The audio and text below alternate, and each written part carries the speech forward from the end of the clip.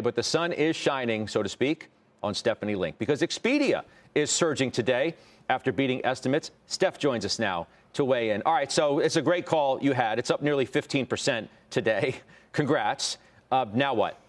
Thanks. Oh, I'm going to hold on. I think this story has legs. First and foremost, the quarter was so much better than expected on a number of fronts. Revenues and EBITDA, in particular, EBITDA is now up positive for the last two quarters, but the margins, the margins accelerated 19 points sequentially and beat expectations by 450 basis points. And this is really just block and tackling. Room night stays helped.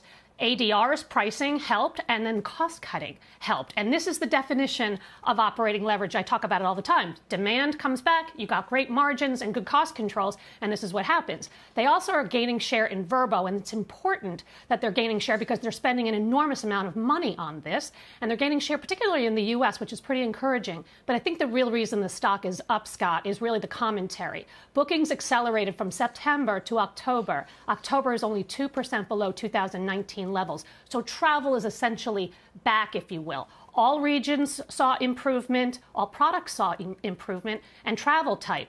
So, and, and, and the interesting thing is their summer 22 bookings are higher than summer 21 bookings. So they've got great visibility. And I think the reason I want to stay on board is because I think this company, as demand comes back and the cost controls continue, they can generate 3 billion in EBITDA by 2023. I would not be surprised to see 3 billion in EBITDA in 2022. Yeah. But let's just wait and keep the expectations on the lower uh, side. I, I want to give people context too, Steph, of, of when you actually did these transactions. You bought a small uh, bit of stock in the summer of 2020. You know, a tough, a tough moment to, to jump into some of these names.